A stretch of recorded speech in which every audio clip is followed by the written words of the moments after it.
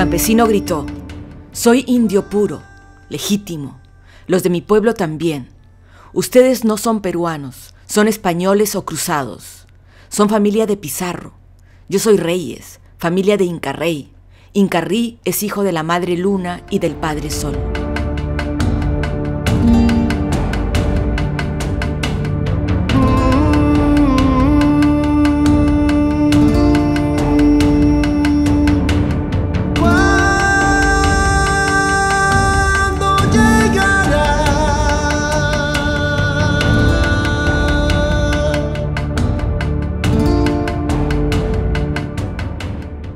Incarrí amarró el sol para que el tiempo durara. También amarró al toro. Gran hombre, mandaba todo, hacía caminar las piedras. España lo llamó, por eso construía un puente de oro sobre el mar, para llegar a España.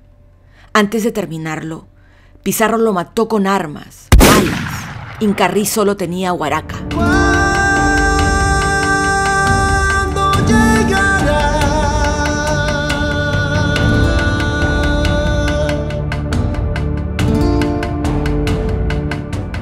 Le cortó la cabeza y la mandó a España.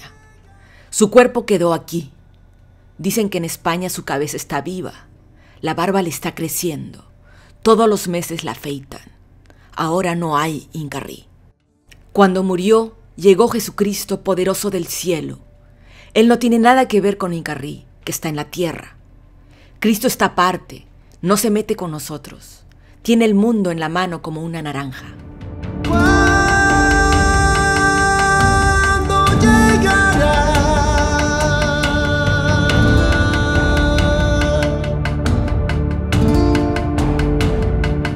Cuando el mundo se voltee, va a regresar Incarrí y va a andar, como en las épocas antiguas.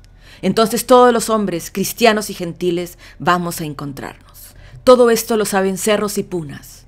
Incarrí ha hablado con Sarasara, Solimana y Achataiwa.